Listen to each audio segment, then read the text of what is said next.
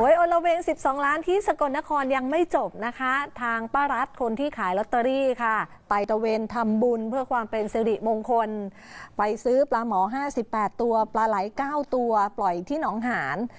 ป้าบอกว่าการปล่อยปลาครั้งนี้เป็นการสะดอกเคราะปล่อยทุกปล่อยโศกออกไป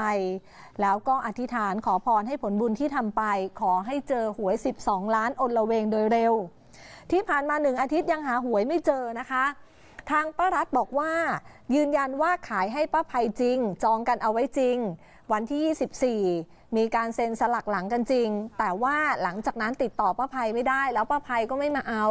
พอใกล้หวยออกฉันก็เลยต้องขายออกไป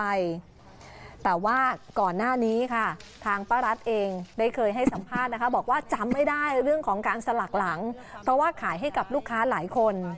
แต่ล่าสุดบอกว่าจำได้ว่าขายให้ป้าภัยจริง ส่วนทางด้านคดีวันนี้ตำรวจประชุมคลี่คลายคดีค่ะ แล้วก็จะทำหนังสือประสานไปยังกองสลากเพื่อสอบถามว่า มีใครนำหวยที่มีชื่อของป้าภัยมาขึ้นรางวัลไปแล้วหรือยัง ลองฟังเสียงของป้ารัฐค่ะ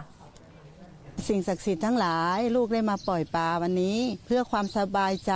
ขอให้สิ่งทั้งหลาย ปรากฏ ว่าให้เป็นความจริง ใครที่เอาลอตเตอรี่ไปก็ขอให้ปรากฏให้รู้โดยเร็วพัน เพื่อทั้งสองฝ่ายจะได้สบายใจและจะได้รู้ความจริง บนฟ้าบนแผ่นดินให้รับรู้ ว่ารัฐไม่ได้เอาไป และญาติพี่น้อง ไม่ได้มีลอตเตอรี่ เก็บไว้ในกระเป๋า ขอให้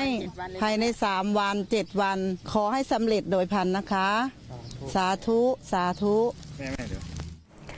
ยังตามหากันอยู่นะคะ ว่าตอนนี้หวย 12 ล้านรางวัลที่หนึ่งเนี่ยสองใบนั้นอยู่ที่ใคร อืม